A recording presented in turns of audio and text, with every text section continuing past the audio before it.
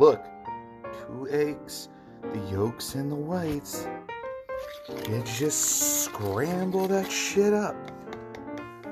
You scramble it up. And then you put that shit in a microwave. It is delicious. It's cooking now, Jake. It's cooking.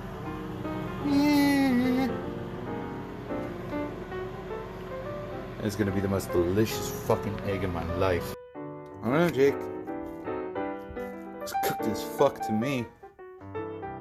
Ignore the scuffed tomato, I suck at cutting. You put that shit right there. You put the other slice of tomato right there. Sometimes I add meat, but I ain't got no meat. And then I'm gonna put hot sauce on it. But you slap that shit. And then there you go.